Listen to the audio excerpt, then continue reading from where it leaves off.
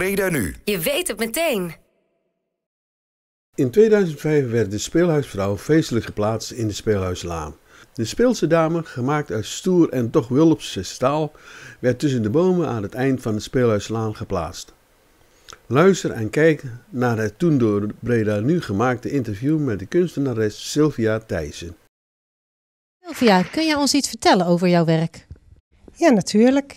Ik ben beeldend kunstenaar. Ik maak heel veel verschillende soorten werken.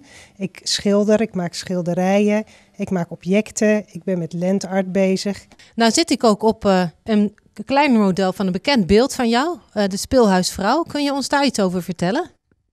Ja, inderdaad. Dit is een modelletje. Het grote beeld staat in de speelhuislaan. Het is een vrouw die daar heel stevig zit en waar je ook zelf op kan zitten. In de speelhuislaan zelf is hij veel hoger, dan moet je er echt even op klimmen, maar je kunt erop zitten. Hoe uh, ben je ertoe gekomen om uh, tot dit beeld te komen van de speelhuisvrouw? Ja, ik schilderde al heel veel vrouwen en het leek me zo ontzettend leuk om in plaats van een schilderij een object te maken. En toen ben ik eigenlijk begonnen met het, uh, de vrouw uit het schilderij te halen. Toen heb ik uh, vrouwelijke vormen uh, gemaakt en uitgezaagd. Dat het al echt een object is wat je vast kan pakken. Maar toen dacht ik, ja, ze zijn nog eigenlijk heel plat.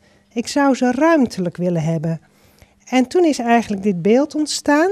Het is eigenlijk een hele platte vrouw die ik gewoon gevouwen heb. Dus de voet is zo onderuit naar achteren gevouwen. En toen had ik ineens een echt driedimensionaal object. Hier zien we haar hoofd. En via haar schoot loopt haar been naar achteren toe. En haar teentje uh, is nog weer zichtbaar aan de voorkant door het hart heen. In 2015 moest het wijken voor de plannen van het nieuwe station en omgeving. Nu is het weer terug in de wijk waar het thuis hoort.